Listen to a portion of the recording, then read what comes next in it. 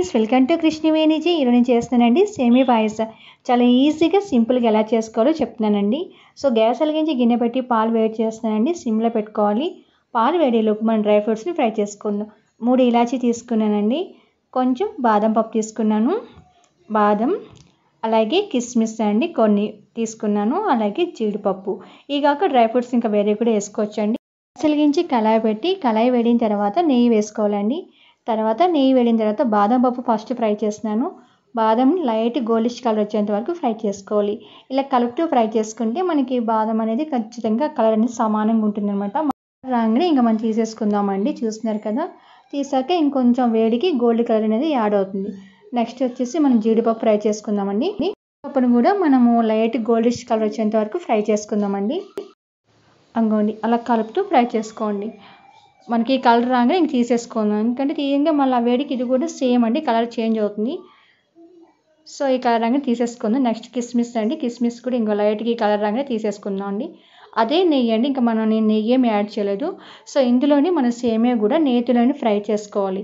సేమియా కూడా లైట్గా అనమాట లైట్ గోల్డ్ కలర్ వచ్చేంత ఫ్రై చేసుకుంటే మనకు సేమియా అనేది ఒకదానికొకటి అంటుకుపోదండి. సపరేట్గా ఉంటుంది మనం. సో పాలు మరుగుతుందండి ఇప్పుడు మన అందులో ఇలాచి అండి. కచ్చాపిచ్చా దంచేసుకొని ఇలాచి వేసుకోవాలి. సో అలాగే ఇప్పుడు ఇందులోకి సేమియా కూడా వేసేస్తుందండి చూసారు? లైట్ కలర్ అండి. వేసి ఒకసారి ఈ విధంగా కలిపేసుకుందామండి. సో ఇప్పుడు ఇందులోకి మనం డ్రై ఫ్రూట్స్ సగం వేసుకుందామండి. ఇంకోండి డ్రై ఫ్రూట్స్ కొన్ని మన ఇందాక ఫ్రై చేసి వేసేసుకొని కొన్ని పక్కన పెట్టుకుందాం గార్నిష్కి అనమాట ఇలా వేయటం వల్ల ఏంటంటే సాఫ్ట్గా అయిపోతాయంట. బాదం కానీ జీడిపప్పు కిస్మిస్ కూడా మనకి పాలల్లో బాయిల్ అయిపోయి సాఫ్ట్గా అయిపోతుంది. షుగర్ మాత్రం ఇప్పుడు యాడ్ చేయట్లండి సేమే చూసారు ఆ విధంగా ఉడికింది.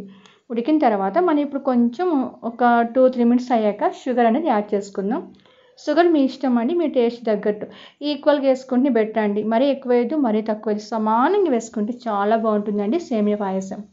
సో షుగర్ వేసాక ఒకసారి కలుపుకుందామండి. దీని ఒక ఫైవ్ మినిట్స్ ఉంచేసుకుంటే మనకి సేమియా రెడీ అయిపోతుంది. చూస్తున్నారు కదా షుగరు మొత్తం మనకి మెల్ట్ అయిపోవాలన్నమాట పాలల్లో. సో ఒక టూ మినిట్స్ అట్లా మరగనిద్దాం. ఇప్పుడండి మనం ఒక టూ మినిట్స్ అలా మరిగిపోయిన తర్వాత సేమ్ అనేది రెడీ అయిపోతుందండి. ఇంకా మనం తీసుకొని సరిగ్గా వాళ్ళు చేసుకొని వడ్డించుకొని తింటామండి. చూసారు కదా ఎంత బాగా మనకి కుక్ అయిపోయిందో? సేమ్ అనేది సపరేట్గా ఉంటుందండి. అందుకే నేతిలో ఫ్రై చేసుకుంటే చాలా బాగుంటుందండి. సో ఇప్పుడు మనం గ్యాస్ ఆఫ్ చేసేసుకోవాలి. చిక్కటి పాలండి.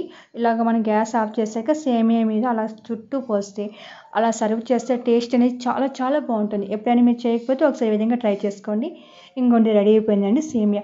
వేడి మీద మనకి ఇలా ఉంటుంది? కొంచెం చల్లారే కొంచెం దగ్గరికి వస్తుంది అనమాట ఈ విధంగా సర్వ్ చేసుకొని తింటే చాలా బాగుంటుందండి.